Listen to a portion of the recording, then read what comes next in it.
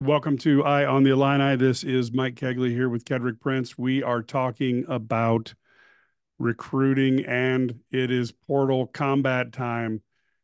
Kedric, six foot 10, 203 pound forward, Carey Booth from Notre Dame. He was uh, average 6.4 points a game, 4.3 rebounds, shot uh, not as well from the three as what maybe you know you would have hoped, but still was uh, 29-7 from the three point as a freshman who shot over 100 threes. He's going to be a sophomore coming to University of Illinois. Give me some of your thoughts on uh, Carey Booth and what he brings to the table. I think his upside. I think that's why they fell in love with him when he entered the portal. He's a lot like Coleman Hawkins, a little bit more athletic than Coleman. Obviously, didn't shoot as well from the perimeter, but uh, me personally, he was a freshman last year, true freshman last year, and I mean, not a lot of guys can come in and just you know shoot well from the three, and some do, some don't. But you know, the potential is there. So, and I think that's what they like. Brad likes guys that are mobile enough and that can who can stretch it. And I mean, they I like when you see the game footage of him and highlights. They throw lob dunks to him. Uh, he he does really good in pick and roll action, which I think they're probably going to get back to, depending upon you know what the NCAA you know what what they'll do with Marcus Domask, who's applying for another year of eligibility with his legal team. So they are pursuing that. So people are going to ask us, you know, you heard it here first. Yes, they're trying to get that done, but um, the style of play, I think they like to get back to where you know, it's more or less the freelance offense with the guards that they're recruiting, and and with him, because his you know his father you know playing the Big Ten, Calvin Booth in Penn State from Penn State 1998, uh, good player, uh, good genes. I just think if he's in the right system, and you know, and Illinois has done really well with allowing players that freedom, which is what they like. You know, Mike, we've talked a lot about when Brad first got here, his sales pitch, and now he can give out game film and saying, "Hey, you know what? This is you." And Booth saw an awful lot of Coleman Hawkins on his great days when he was playing at that same position. Um, like I said to you, the one glaring thing is he's a lot more athletic. He's not as polished as Coleman because Coleman is really, really polished as a player, um, but he's definitely a much more athletic. I thought the interesting uh, breaking down some film on him. I thought he's a very he's got some lift when he goes up and jumps. I mean, he had uh, some really nice lob plays, got up for some rebounds. I, I don't know that if he's a, he's a quick a quick jumper, but he is a, a good leaper in terms of getting up in the air. Uh, the other thing I thought was interesting is got a nice uh, release point on his jump shot, and he's right-handed. But I noticed when he got free a lot on the dribble, uh, it was using his left hand to get a couple dribbles past guys, and then he might, you know, go either way. But I, I thought it, I was really happy to see the offhand be so well used by him out on the court, which a lot of times you think of a 6'10 guy, you kind of think of, well, they can dribble about three times and then they dribble into trouble he he definitely seems to to have that opportunity to use the dribble to get himself open. And i thought he was really good at the catch the catch and shoot threes. He that that seemed to be his comfort zone you know where he would go uh it was an inside out pass. We'll have to see who's in the five position to throw the inside out pass but it was nice to see that as well. Yeah said he's a well-rounded player. His three ball looks kind of funky to me, if if you will. It looks like there's a hitch in it. Yep. You know, when I first saw a lot of it, kind of reminded me of Marcus Domask because he has a little hitch in his three point shot as well. But that's something that probably could be tweaked. Um, I know the Illinois staff down there. I think they've done a good job, or they've shown a good job with Coleman. His three point shooting picked up, and you know every year he got better. And Terrence Shannon, wow, you know what, he was great behind the three point line. So, but to answer your question, like uh, I do. I think you know him being able to put the ball on the floor and to be able to get by people. Like you know, I mentioned the fact that his father played, and so you know he's well coached and he's well schooled.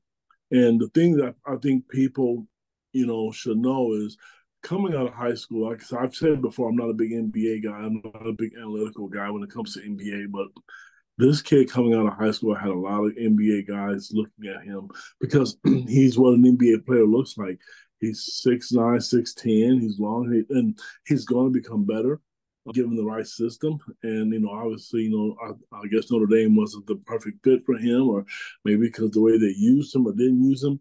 But a lot of NBA guys are, you know, thinking, hey, you know what, this is a guy that can come in, he can defend, he's tall enough, and for the people out there who old school timers, it doesn't matter how many points you average a game. They just look at your upside, and he's young. And if you look at the roster that they're putting together, the guys that actually have committed, they're younger guys. They're not like the fifth year seniors that they've had in the past. So which means that you may not see hundred transfers in the portal next next couple of years because I think they're going out, they're going to put together an amazing class and try to build on it.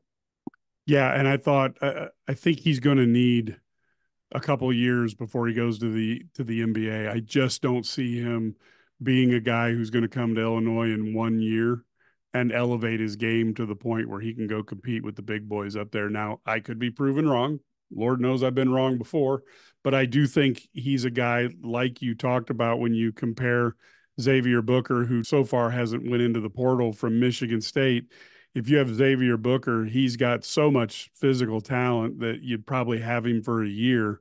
Whereas with um, Booth, I think you may end up having him for two, maybe three years.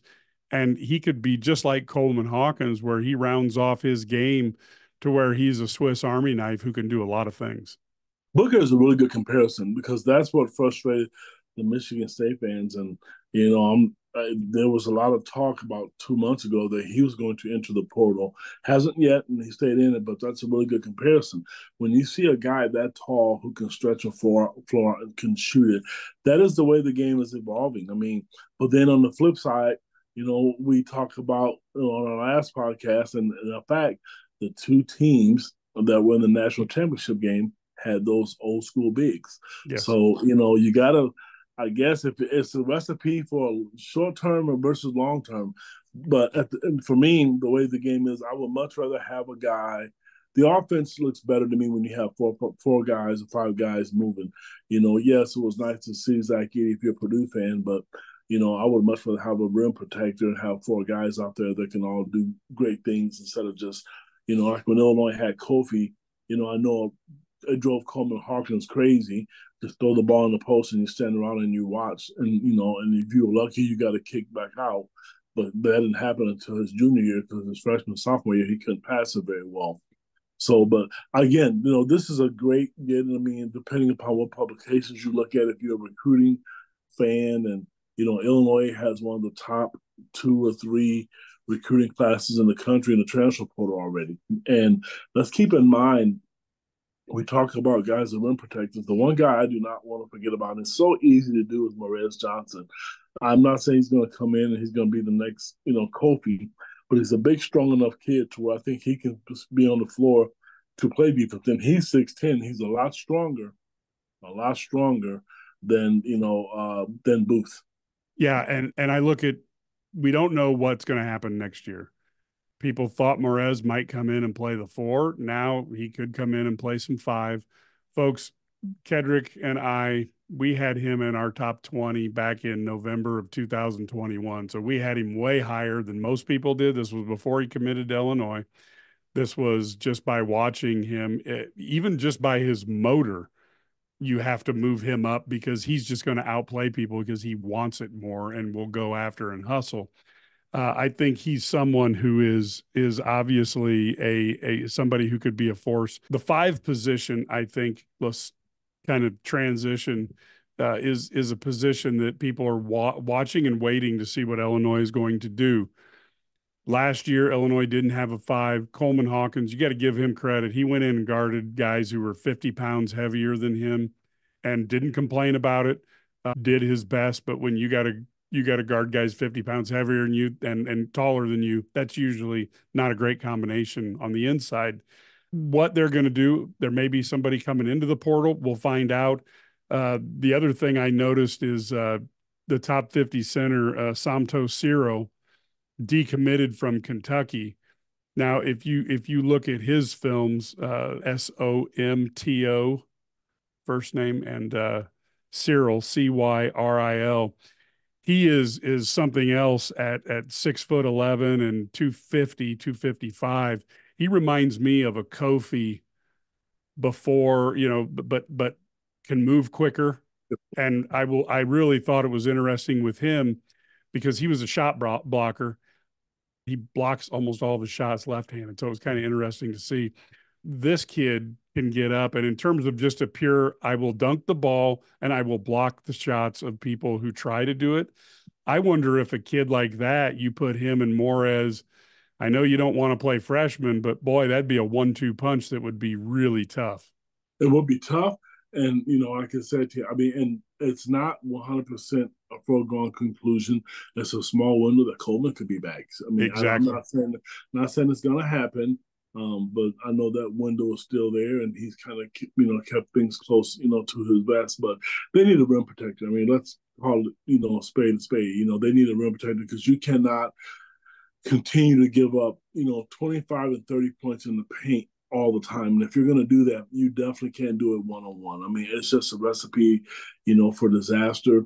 You know, um, you saw that against UConn, and it wouldn't have mattered because UConn is just on a different. They were on a different level but you have to be able to have somebody who could go out because look at the rest of the Big Ten. I mean, they're all going to go out. They're going to get big because that's the way the conference is. And if you if you're not prepared for it, you know you're going to get a couple more losses. A couple more losses make all the difference in the world. Seedings, for example, I I personally think if Terrence Shannon didn't miss six games, Illinois is probably a two seed you know, maybe even a one seed, which then you don't run into Connecticut, and then you have a chance to go to the Final Four. So those wins matter, and I know they're going to put together a tough schedule. If you remember, uh, Tennessee comes to Champaign this year. Missouri is starting to load up. I think they've started to figure out, and, and they've been reading what we put on Twitter about this portal because you know a lot of schools are utilizing it. Some people think it's a bad look, and I get it. It's a it's a culture shock for a lot of people. You know, Monty Hansberry, you know, went to the portal. A lot of people didn't like it, but you know what? Four or five hours later, you have another guy who was probably just as athletic and taller, you know, as Amani. And so, I mean, I get it. I mean, it's it's different, but you got to if you don't play the game, you're going to be behind. And all these other schools who continue to be stubborn, you know, like I'm I'm not criticizing certain schools, but I don't see Michigan State out there. I don't see Purdue out there. You know, I put on Twitter today, you got 18 teams in the conference, and I'm telling you, you better be able to compete because somebody's going to take 18th place. Yeah, and and Juwan Howard's not there to do it, so it's it's going to be a competition. Now, the other thing is, and and again, we want to underscore this. For all we know, there's still a couple more weeks of the portal. For all we know, there could be a, a, good five who's just about to enter the portal and Illinois might have an opportunity at, at, at, that individual. And of course, out there is is uh, at the wing positions AJ Storr, and Illinois does need somebody who can put the ball on the floor and create. We saw how valuable that was when your offense was having troubles, and you could just say, "Here, Terrence, why don't you score?" And and he could. They didn't have to run a play for him. It was just Terrence. I'm going to tell you this: there are some players out there that aren't in the portal yet. And I know that, you know, when they become in the portal, whether it be, the, you know, they're going to throw their name in the NBA hat, Illinois is going to be involved with some of those players. And why wouldn't they be? They are, they have done extremely well. They, they've done a great job in the portal. Um, and it's so it, the players know it's okay. You can come in while you can win. Um, you're going to be successful. Doing so, AJ Storr thing, I'm just gonna put this out there. I mean, because it's kind of frustrating me just a little bit. So this is probably gonna be the highlight. If you want some views, Mike, you're about to get it. I'm just it stinks because that's one kid that I know when the portal opened up, I was 99.9% locked in. I knew this kid was going to be was going to play Illinois. And I just wish some of these people they were realistic and they wouldn't do things to force coaches' hands or say things that they shouldn't say. This is a business. And wherever you go, you send your kid to a school. I mean, yes, you want your child to be taken care of, but you have to be smart. Nobody, I don't care. I'm, I'm not talking to AJ Storr right now, but if anybody thinks they're going to come in and demand uh, Bill Self or Brad Underwood or Tom Izzo, and you're going to tell them what you're going to do, you're not playing for them. I mean, you could be the nicest guy in the world. I'm telling you, It's not going to happen. Fred Hoiberg to me is is a true gentleman. I I don't hide that. But if you think you're going to go to Nebraska and say, "Here's the deal, Mister Hoiberg, I want you know nine hundred thousand dollars. I want my husband to get a car. I want my you know my son to get a car, and like Oprah Winfrey, you get a car. Everybody get a car. It's not happening.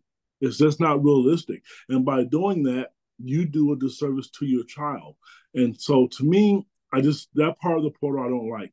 But back to AJ Storr, he's that guy, Mike. He's that one guy that I think who's that alpha dog. You need that that guy who could put the ball on the floor. And I'm gonna tell you, they could ever figure it out, meaning they, whoever is giving him advice, could ever figure this out, and if he didn't end up at Illinois, I guarantee it, when the polls come out, they'll be a top five team in the country again in preseason, and they will have a legitimate shot at the Final Four again. This roster is put together nice. Kylan Boswell is great. There's another player that's probably I would think become coming close to committing, and we're not going to say that unless you subscribe to Illini guys. So they're going to have a really good roster, a really good offensive roster, athletic guys again. So they're not done by any stretch of imagination. Illinois is not done.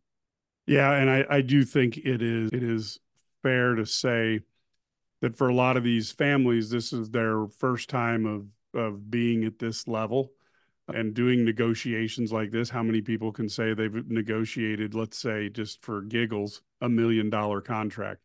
Uh, that that's something that you just don't do in life unless you're in some sort of sales position or extremely talented at, at something. And it is very hard to not let the dollars get in the way of everything else because we know that 2% of players make it to the NBA and the NFL. So for many players, I'm not saying AJ Storr is one, I'm not, but I'm saying many players, their NIL funds, if they can make, let's say, $2 million in four years, that can be a fantastic start to the rest of their life yep. and put them in a fantastic position. And they may never, ever get close to the NBA people don't understand how good NBA players are until you go to an NBA game and you sit down in that lower bowl and you can stand and you see how big, how fast, and how good they are. Folks, the best player you've ever seen might be the guy who's the 13th player on the end of an NBA bench who can't get in the game. Well said. And so yeah. and so they're the the parents who are trying to figure out, you know, how how they help their kid. I can see where they they get that feeling. But unfortunately, as you said, there isn't a human being on this planet who's going to walk into Bill Self, Brad Underwood, or Tom Izzo and tell those three gentlemen respectively what they are going to do. Yeah, it's not going to happen. And I mean, because soon as you, if once you start doing that, you lose all control, and that's just not going to happen. I mean, it's a tough business to begin with with this NIL, and I think it's great. I, I don't think it's going to last this way because I think it's going to get out of hand at some point, and they're going to have to reel it in. But you know, and if you're not good at negotiating, obviously ask other people, and other you know agents involved to say, hey, what's you know what's realistic and what's not realistic. Because again, I said on our last podcast, some of the numbers you see put out here, they're false. But on the flip side, if there's any recruits listening to this and you think you're going to go in and you, and you, think we're stupid, if you don't think these coaches talk, you're kidding yourselves. You see them on the court and they're competing and they're trying to beat each other. But outside, they talk, and especially the, the assistant coaches. When I go to AAU events, Mike, like you mentioned, you sit there, they're all hanging out talking and talking about the same kid and I can assure you, assure you, they're talking about that loony parent out there who's asking to be the next president of the United States from them to make it happen. There's people out there like that, and I just don't understand why you would do that to your child. Because if you, I want to give Rodney Hawkins, Coleman Hawkins, that credit. He made the comment to me winning will take care of everything. If you win, and because if you the the scouts are going to see you're winning because of a reason look at the success that Illinois had this year and look what it did for Terrence Shannon. Here's a guy that was in the what second round all last year, and he was on one of the best teams in college basketball. And if you believe in the, these draft boards, he is in everybody's top twenty, top twenty-five, some in the, as a lottery. So Rodney's right; you have to win. So if you want your son to be able to be in that two percent, or your daughter, whatever, then you go to a school where your son can succeed and win games. And I'm going to tell you, this is an Illinois podcast. Illinois is going to win basketball games. Brad Underwood liked what happened, and you know he got that taste of the final eight, and he's not done. He wants more of it, and I'm sure the fans want more of it because it was a great ride last year. Yeah, I totally agree. One last thing, of course, you mentioned it, Amani Hansberry into the portal. Um, he was a guy who a little bit star-crossed. That back injury didn't allow him to show as much as what we would have loved to have seen from him. Seemed to be a great teammate and I think he's a kid who he's probably really what a lot of colleges would like to have. He's a little undersized, but he makes up for that in his intensity and his effort on the court. I think he's going to do a wonderful job. Obviously, the rumors are that he's going to end up at West Virginia with uh, Chester Frazier. Who knows what's going to happen? But boy, I think he's going to make some school very happy when he transfers there. And of course, we wish him nothing but the best of luck. I just I don't want to contradict myself, and you know, I said this is a business, you know, to the coaches, and I understand it. But you know, I had a feeling he was going to leave, but when it became reality today, this one kind of is, is stung a little bit because I like the kid. I think he had what you said. He had potential. He was a great teammate. He didn't sulk. There was never a time on that bench when if he didn't play if, if he didn't play for six minutes or if he if he played six minutes, excuse me, or he didn't play for three four games, he was still the same. And I like that. And he had talent. So this one, yeah, it kind of rubs me the wrong way, but I I do I understand it. I, I it's a business, and you know he has to do what's best for him. But he's one guy I can honestly tell you I will follow his career regardless of where he goes to play because I want to see him succeed he was a he was very you know polite to me. His family was polite to me when you know when Illinois was recruiting him. I don't burn bridges with those people. Those people have been great to me over the years, so I want to see him succeed. Not all the kids succeed, but you know, obviously, I do want to see that. But he was just it was tough. So, but I get it because again, you think about it, you got Tre White. There's another guy that's out there. I mean, that's a who could play the four, you know, and Luke Goode is still there. So as of right now, so the way you look, I look at it, the you know they want to get better. They you know they may see things differently how they could you know how they want to play. Maybe he didn't fit into that. Yep, and and like I said, it, coaches have to make a lot of hard decisions, and and players have to make a lot of hard decisions. We wish them all the best, and until they come and play against the Illini, then we we don't want them to do as well because we want the Illini to come out with the W. So we wanted to give you a real quick podcast here to let you get up to date on what is going on with the Illini. You want to stay real close to the IlliniGuys.com. There's a lot of expectations that potentially could be another commitment coming relatively soon. And every time, you know, there's there's people going into the portal, people going out of the portal. So you really have to stay tuned as the roster forms. And I tell people, don't get upset now. You want to see what it looks like when they go into the season. That's the first thing. And then the real report card comes next April, 2025, when we see where they finish. The report card got a lot of good marks this year because you had an Elite Eight. And that's really how we judge our teams now is what they do in the NCAA tournament. Cad, do you have any final thoughts? Stay tuned because this isn't over. There's going to be more commitments and could be more players leaving. It's the way it is. So it's exciting. We knew this was going to happen in April, so we're not done. Let it play out. LiPo is what Brad Sturdy says, and that's exactly what is going to happen. Thank you.